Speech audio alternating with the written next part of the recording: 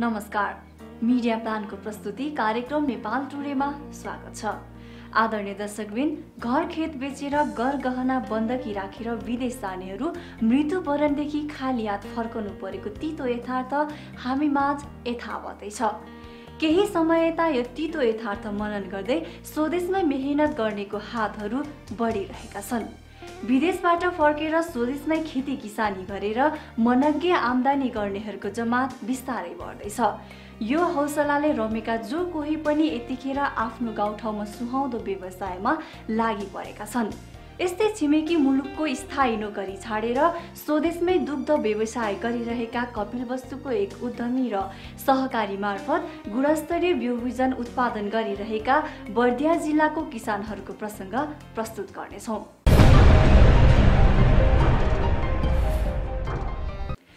पनि व्यवसाय गर्नका लागि लगनशील र धैर्यताको खाँचो हुन्छ। कर्म गर्ने हातहरूलाई उमेरले छेक्दैन न त शिक्षा दीक्षाले नै रोक्छ। अध्ययनका लागि छिमेकी मुलुक पुगेका शालिग्राम पौडेलले नेपाल फर्केर गरेको व्यवसाय आजको कार्यक्रमको पहिलो प्रस्तुति।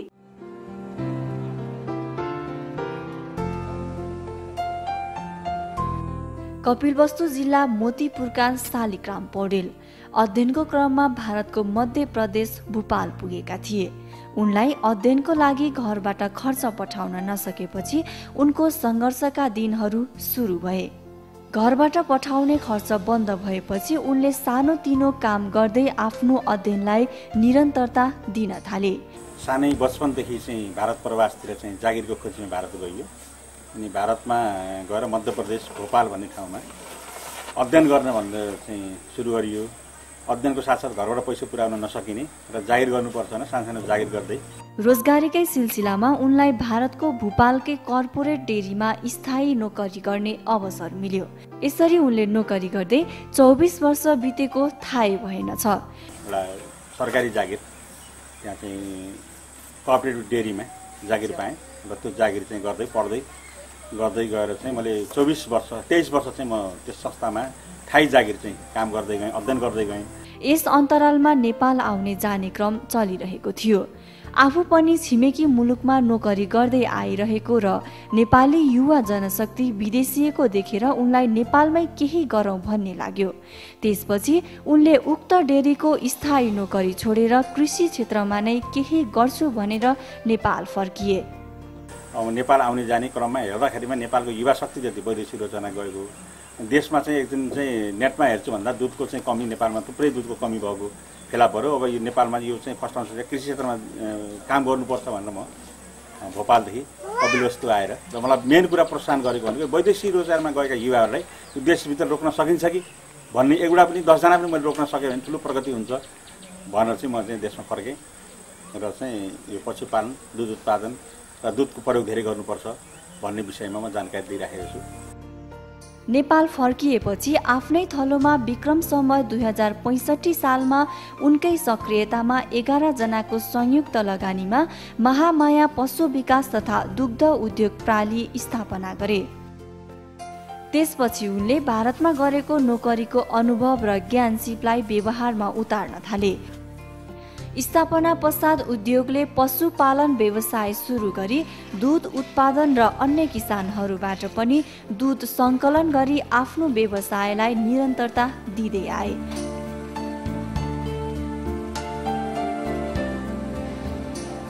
हाम्रो त्यो वरिपरिको गाविस मोतीपुर बाडगङ्गा गजेडा अनि कोपहा गाविसमा चाहिँ हाम्रो दुध सङ्कलन हुन्छ त्यहाँबाट चाहिँ दुध आउँछ। आफ्नै ठाउँमा व्यावसायिक रूपमा गाई पालन गरेको देखेपछि अन्य किसानहरू पनि पशुपालन गर्नेतर्फ आकर्षित हुन थाले। धेरै युवाहरू अहिले पशुपालन गर्न सुरु गरेका छन्। मसितै लागेर केही साथीहरू त विदेश गएर फर्केर गए पनि फेरि छिटै फर्केर पशुपालन सुरु गरेका छन्। कृषिमा आधारित काम गर्न थालेका छन्। र उद्योगले उक्त किसानहरूले उत्पादन गरेको दुध आफ्नै उद्योग मार्फत सङ्कलन गर्ने भएपछि किसानहरूमा पशुपालन गर्नेतर्फ आकर्षित हुन थाले। यसरी किसानहरू पशुपालनतर्फ आकर्षित भएपछि दुधको उत्पादनमा पनि वृद्धि हुन गयो। त्यसकारण उद्योगले आफ्नो व्यवसायमा आधुनिकीकरणको साथसाथै फर्मको क्षमता विस्तार गर्नुपर्ने थियो र सङ्कलित दुधलाई प्रशोधन तथा विविधीकरण गरी बजारसम्म लान सकिरहेका थिएनन्। यसै क्रममा नेपाल सरकार कृषि विकास मन्त्रालय अन्तर्गतको व्यवसाय कृषि तथा व्यापार आयोजनाले दुग्धजन्य उत्पादनको व्यवसायीकरण तथा विस्तारका लागि उद्योगलाई पूरक अनुदान सहयोग गरेको छ।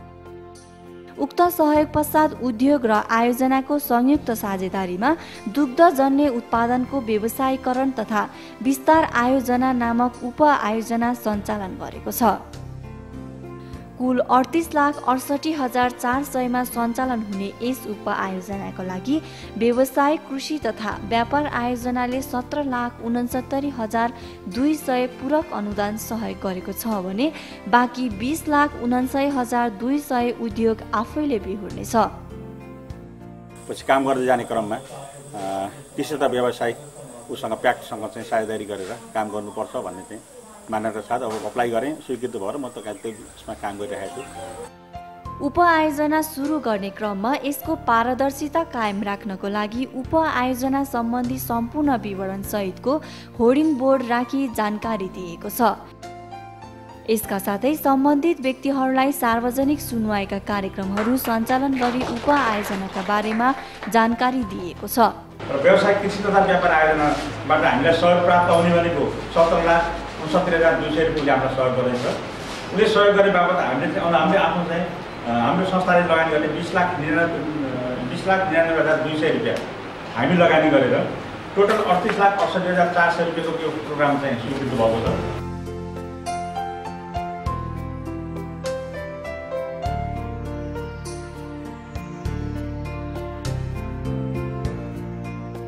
म यति अनुरोध गर्न चाहन्छु कि त्यो सहयोगलाई उहाँ सदुपयोग गरेर दिगोपन हुने यो पशु विकासमा दिगोपन हुने गरिकन कार्यक्रम सञ्चालन गर्नुहुनेछ भन्ने म आशा गरेका छौँ।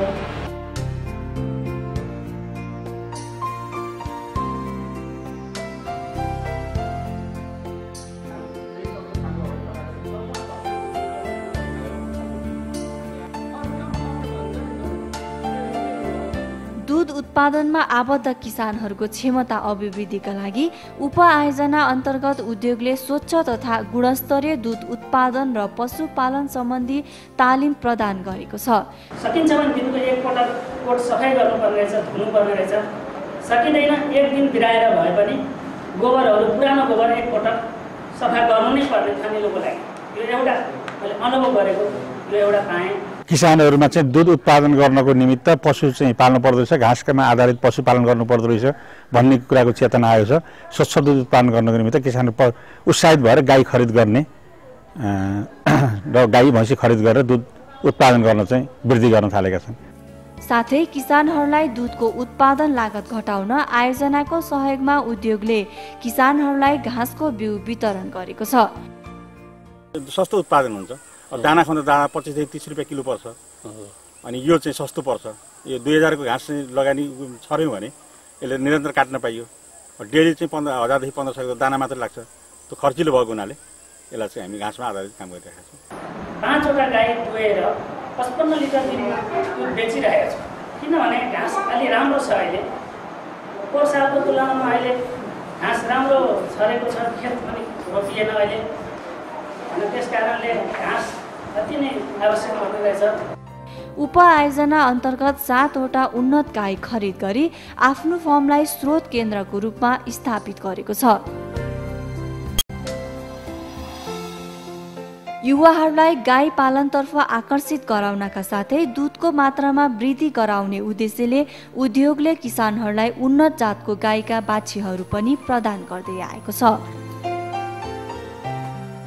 र हामीले गाई उपलब्ध गराउँछौँ किसानहरूलाई चाहिँ आवश्यक परेको खण्डमा। हाम्रो आफ्नो फर्मबाट पनि उपलब्ध गराउँछौँ। बाहिर पनि सम्पर्क गरेर ल्याएर हामी चाहिँ किसानहरूलाई गाईको चाहिँ व्यवस्थापन गरिदिन्छौँ।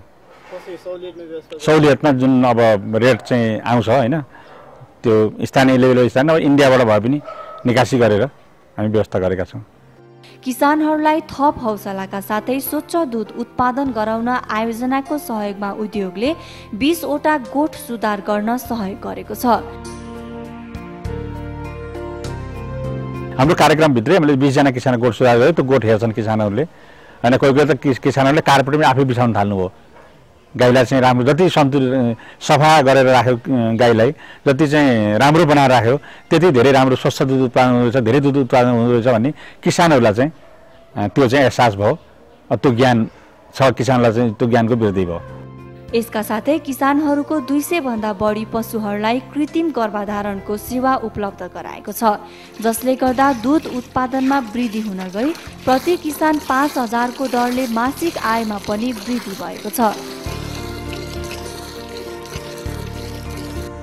किसानहरूको आयमा वृद्धिसँगै उद्योगको मासिक आम्दानीमा पनि वृद्धि भई अडचालिस हजार पुगेको छ।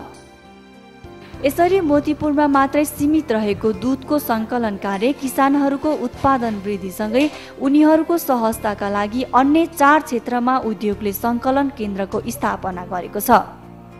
उपआयोजना सञ्चालन पूर्व उद्योगले दैनिक एक सय पचास लिटर दुध सङ्कलन गरिरहेको थियो भने हाल दुध उत्पादनमा पनि वृद्धि भएको छ। उद्योगको आफ्नै फर्मबाट दैनिक एक सय पचास लिटर दुध उत्पादन गरिरहेको छ भने चारैवटा सङ्कलन केन्द्रबाट जम्मा आठ सय लिटर गरी दैनिक नौ सय पचास लिटर दुध सङ्कलन भइरहेको छ। अहिले चाहिँ किसानहरू उत्साहित छन् पशुपालन गर्नु दुध उत्पादन गर्नको निमित्त। र किसानहरूले धेरै दुध उत्पादन गर्दाखेरि मलाई व्यवसाय गर्न पनि सजिलो भएको छ। र आफ्नो पनि दुध फार्म भएको हुनाले आफ्नो पनि दुध डेढ सय लिटर पर डे चाहिँ आफ्नै दुध उत्पादन हुन्छ। र किसानहरूबाट दुध सङ्कलन भनेको सात सयदेखि आठ सयको बिचमा पर डे दिनमा चाहिँ त्यति सङ्कलन भइरहेको छ। यसरी सङ्कलित दुधलाई प्रशोधन र विविधीकरण गर्नको लागि आयोजनाको सहयोगमा क्रिम सेपरेटर चिलिङ भ्याट दुधको गुणस्तर मापनका लागि मिल्क एनालाइजर र डिप फ्रिज लगायत अन्य उपकरणहरू खरिद गरी जडान गरिसकेको छ। दुधको गुणस्तर नाप्ने यन्त्र लगायत अन्य उपकरणहरूको जडान पश्चात सङ्कलन केन्द्रमा स्वच्छ दुध सङ्कलनमा वृद्धि भएको छ। स्वच्छ दुधमा एकदम परिवर्तन आएको छ। हिजो चाहिँ ल्याक्टोफ्याट चाहिँ मा चाहिँ मान्छेले बिच बिचमा के गर्थे किसानहरूले भने अब दुध उत्पादन गऱ्यो ल्याक्टो धेरै बढ्छ भने चिनी हालेर चाहिँ ल्याक्टो वृद्धि गर्थे। त्यो चाहिँ नियन्त्रण भयो। कम्प्युटराइज एनालाइजर मिल्क एनालाइजर राखिदिइसकेपछि उसले पत्ता लगाउँछ अनि पानी हाल्नु हुँदैन। सफा दुध ल्याउनु पर्छ सफा दुध आएर पानी हालिएन दुध सफा स्वच्छ भयो भने मूल्य धेरै पर्दो रहेछ भने किसानलाई ज्ञान भयो। र अहिले चाहिँ किसान एकदम स्वच्छ सफा चाहिँ उत्पादन गरेर चाहिँ ल्याउँछन् किसानहरू।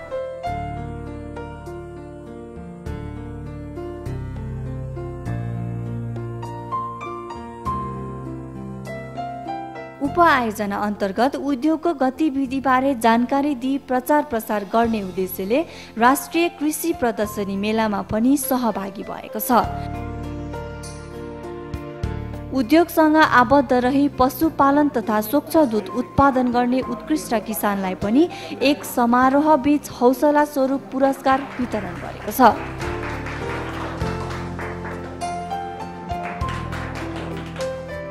यस उपायोजनाबाट एक सय पैँतालिसजना प्रत्यक्ष लाभान्वित भएका छन् भने अप्रत्यक्ष रूपमा तिन सयजना भन्दा बढी किसानहरू स्वरोजगार भएका छन्।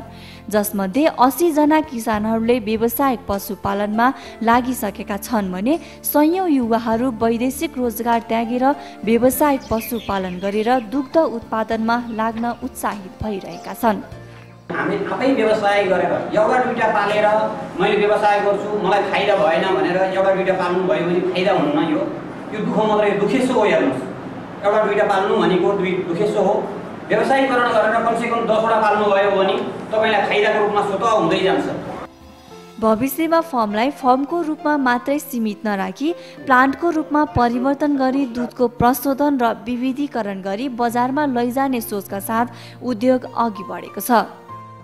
चाहिँ पाँच हजार लिटर दुध हाम्रो दैनिक सङ्कलन हुन थालिसकेपछि हामीले प्लान्टको रूपमा लिएर जान्छौँ त्यसलाई कम्पनीलाई। दुध प्रशोधन गर्ने प्रोसेसिङ प्लान्ट हालेर अनि त्यसपछि प्याकेजिङ गरेर।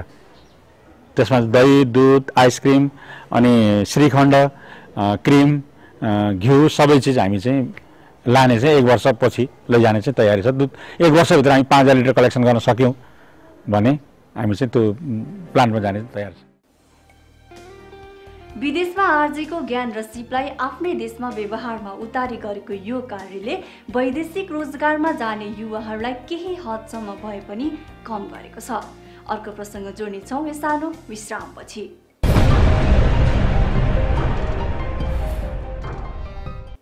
प्रशस्त जग्गा जमिन छ। सिँचाइका लागि पानीको समस्या पनि छैन। कृषकहरूको परिश्रममा पनि कन्जुसाई छैन। यति हुँदाहुँदै पनि उत्पादनमा चित्त बुझ्दो परिणाम आइरहेका छैन। किन त दर्शकबिन अन्नबाली उत्पादनमा परिश्रमको सँगसँगै बिउको पनि महत्त्व हुन आउँछ। त्यसैले गुणस्तरीय बिउ भएन भने कृषकहरूले जतिसुकै मेहनत गरे पनि उत्पादनमा चित्त बुझ्दो परिणाम आउन सक्दैन। बिउको महत्त्व र गुणस्तरीय बिउले दिने परिणाम आजको दोस्रो प्रस्तुति।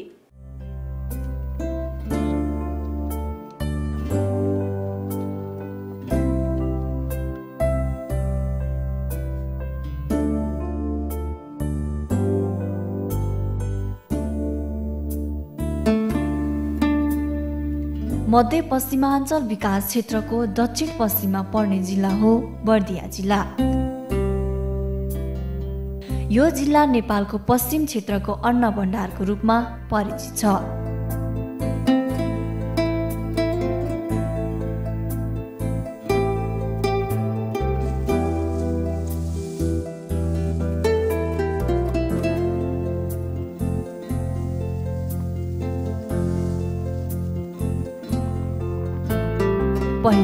आदिवासी थारू जातिको मात्रै बसोबास रहेको यस जिल्लामा पछिल्ला समयमा अन्य जिल्लाहरूबाट बसाइ सराई गरी आउनेहरूको जमात बढ्दै गएकोले हाल यस जिल्लामा जातीय विविधता रहेको पाइन्छ।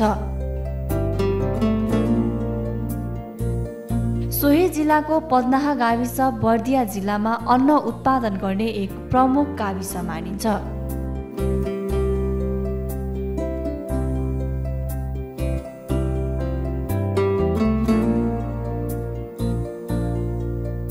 पदनाहा गाविसमा करिब नौ हजार मानिसहरू बसोबास गर्छन् र अधिकांश यी मानिसहरू खेतबारीमा निर्भर छन्। वर्षौँदेखि खेती किसानी गरेर जीवन निर्वाह गरिरहेका यहाँका मानिसहरू अहिले पनि कृषि पेसालाई नै निरन्तरता दिइरहेका छन्।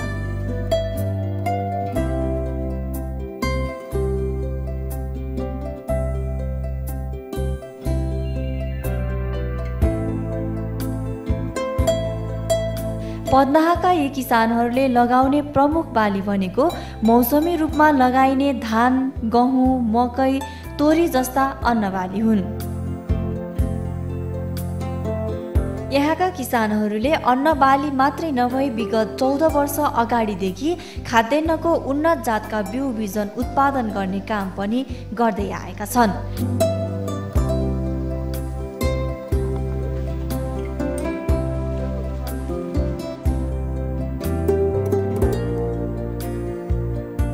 हामीले धान मकैको बिउ तोरीको बिउ मसुरको बिउ लगायत हामी समय समयमा बिउ उत्पादन गर्ने काम गर्छौँ। यो चाहिँ जिउ चाहिँ राधा चार हो। यो उन्नाइस कथा जति छ यहाँ लगाएको। पाँच हेक्टरमा नौजनाले चाहिँ बिज बिर्दीको खेती सुरु गरेका हौँ छप्पन्न सालबाट। अब अहिले आउँदाखेरि लगभग हामी चाहिँ सत्तरीजना जति किसान तयार भएका छौँ यो बिज बिर्दीको खेती गर्छौँ। र कोही धान कोही मकै कोही चाहिँ मतलब तोरीमा कोही मसुरोमा कोही गहुँमा। यसरी चाहिँ हामी अहिले लगभग सत्तरीजना किसान छौँ। यसअघि गाउँका किसानहरू आफूले रोप्ने बिउ बिजनका लागि अन्य जिल्लाहरू धाउने गरेका थिए। त्यसैले गाउँका केही सक्रिय किसानहरूले किसान भेलाको नाममा बिउ बिजन उत्पादन गर्ने कामको सुरुवात गरे र दुई वर्षपछि यसलाई नै सहकारीको रूपमा परिणत गरेर खाद्यान्नको बिउ बिजन उत्पादनलाई व्यावसायिक रूप दिए।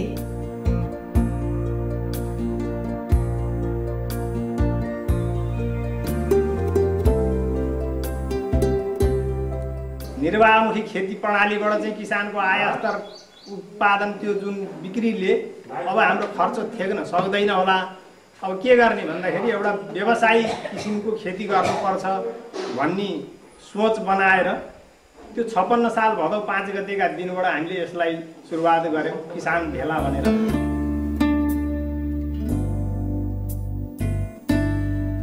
हाल किसानहरूले स्थापना गरेको बुढान कृषक सहकारी संस्थाले किसानहरूलाई उन्नत जातका बिउ बिजन उत्पादन गराउन विभिन्न स्थानहरूबाट प्रथम पुस्ताका बिउहरू ल्याई त्यसबाट उन्नत जातका बिउ बिजन उत्पादन गरेर बिक्री गर्दै आएको छ।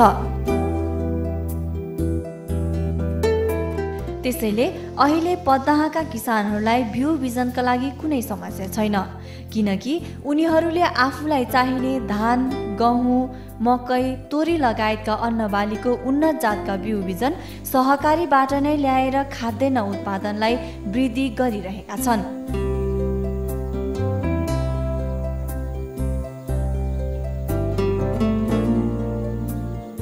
दुई हजार उन्साठी सालदेखि यो सहकारी यसै सहकारी मार्फत बिउ खेती गर्दै आइरहेको छु र यसपटक मैले यो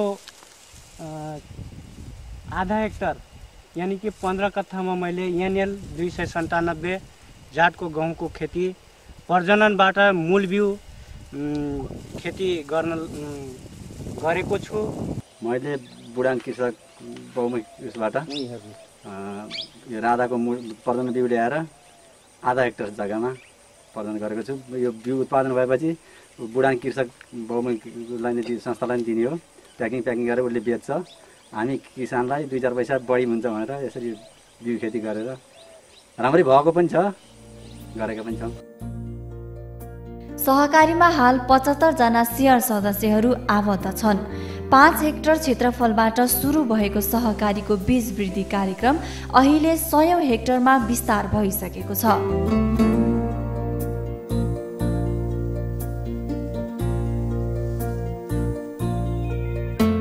सुरुमा पाँच हेक्टर धानबाट मात्रै सुरु गरेका थियौँ। अहिले आएर लगभग पचास हेक्टरमा धान त्यस पछाडि बिस हेक्टर भ- भन्दा माथि गहुँ दस हेक्टरभन्दा माथि मकै त्यस्तै अहिले चार पाँच हेक्टर पाँच हेक्टरमा तोरी त्यस्तै पाँच चार पाँच हेक्टरमा मसुरो यसरी गर्दाखेरि लगभग सय हेक्टरभन्दा पनि सबै चिज मिलाउँदा सय हेक्टरभन्दा पनि माथिमा बिउ खेती गरिएको छ सहकारीको बीज वृद्धि कार्यक्रम बढ्दै गएकोले सहकारीले नजिकै रहेको चारवटा गाविसमा पनि आफ्नो कार्यक्षेत्र विस्तार गर्ने योजना बनाएको छ। गाविसहरूमा पदनाहा गाविस र उम्, बनियाभार गाविस मङ्गरागाडी गाविस र धदोभार गाविस यो भौगोलिक क्षेत्र मिलेको हुनाले चारवटा गाविसलाई समेटेर अगाडि लैजाने हाम्रो लक्ष्य रहेको छ। यसका साथै अन्य स्थानहरूबाट आएका महँगो बिउ बिजनले जिल्लाको पैसा अन्यत्र लैजाने गरेकोले सहकारीले जिल्लाभरि नै आवश्यक बिउ बिजन आफैले पुर्याउने योजना अनुसार बीज वृद्धि कार्यक्रमलाई अझै बृहत रूपमा सञ्चालन गर्ने लक्ष्य राखेको छ। बिउ बिजन उत्पादनमा सक्रिय रूपमा अगाडि बढे पनि बिउ बिजनको गुणस्तर मापन गर्ने औजार उपकरण र बिउ भण्डारण गर्ने ठाउँको अभावमा पनि डेढ सय मेट्रिक टनसम्म बिउ बिजन बिक्री गर्न सफल छ यो संस्था।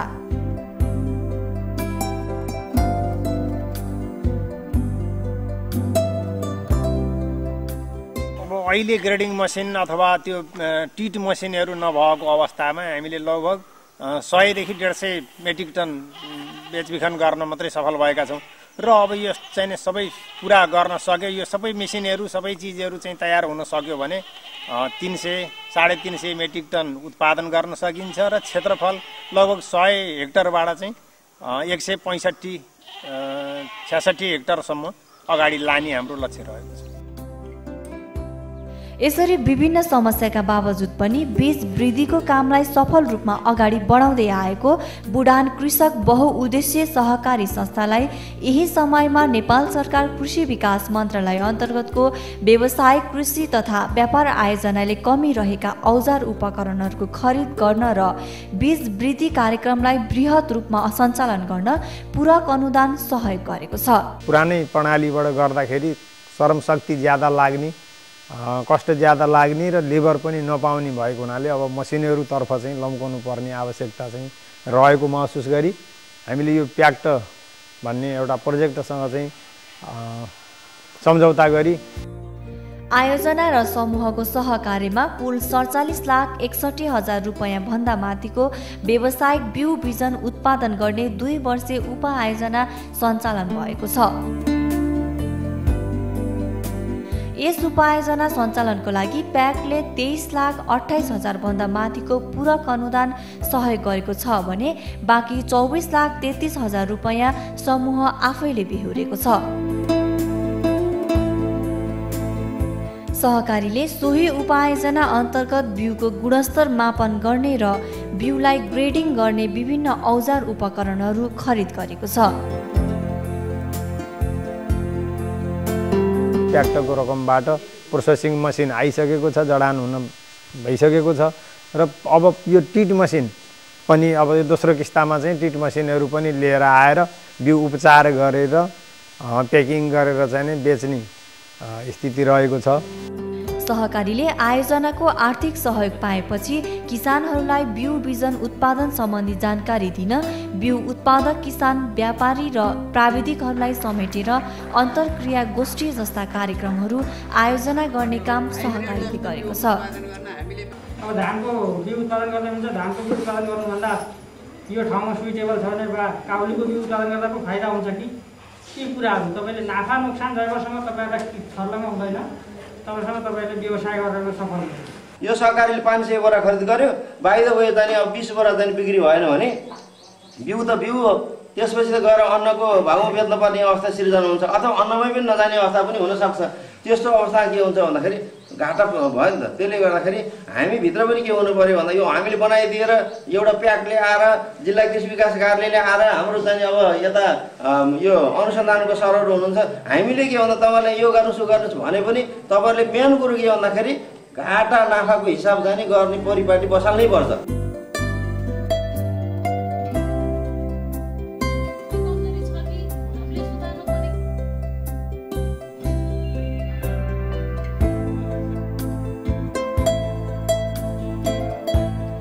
सहकारीले किसानहरूलाई कृषि क्षेत्रको व्यवहारिक ज्ञानको अवलोकन गराउन विभिन्न स्थानहरूको भ्रमण पनि गराएको छ। अहिलेको खेतीपातीको लागि यो यान्त्रिक प्रविधिबाट गर्नु अति आवश्यक। सोचेर हामी यस मेलालाई हेर्न आएका हौँ। उर्वर माटो भएको यहाँको जमिनमा सिँचाइको केही अभाव देखिएकोले सहकारीले आयोजनाको सहयोगमा पम्प सेटहरू जडान गरेर किसानहरूलाई सिँचाइ सुविधाको व्यवस्था गरेको छ।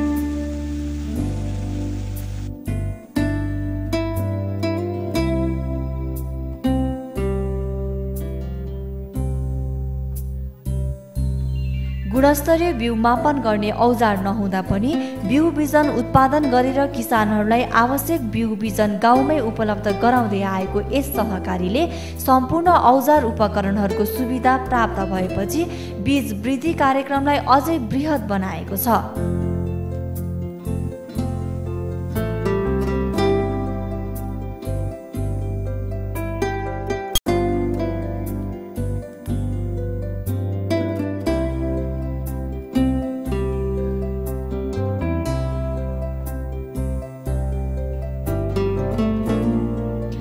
सहकारीले आवश्यक सम्पूर्ण उपकरण र सुविधाहरू प्राप्त गरेपछि वार्षिक तिन सय मेट्रिक टनभन्दा बढी गुणस्तरीय बिउ बिजन उत्पादन गरिरहेको छ।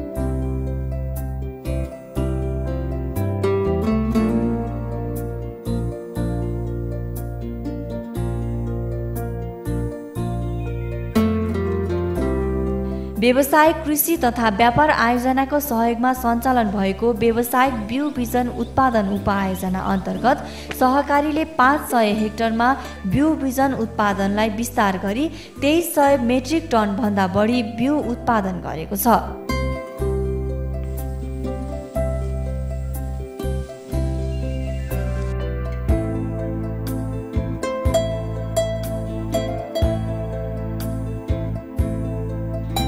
संस्थाले उप आयोजना अन्तर्गत गरेको क्रियाकलाप र आफ्नो उत्पादनलाई प्रचार प्रसार गरी बजारीकरणमा सहयोग पुग्ने उद्देश्यले राष्ट्रिय प्रदर्शनीमा पनि सहभागी भएको छ।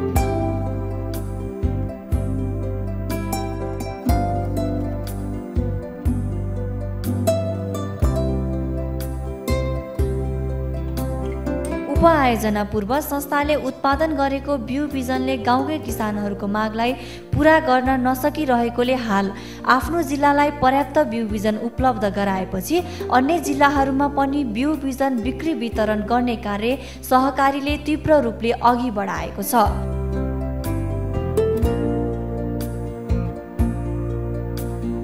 उपआयोजना अन्तर्गत प्रस्तावित सम्पूर्ण क्रियाकलापहरू सम्पन्न गरी यो उपआयोजना सफलतापूर्वक सम्पन्न भएको छ।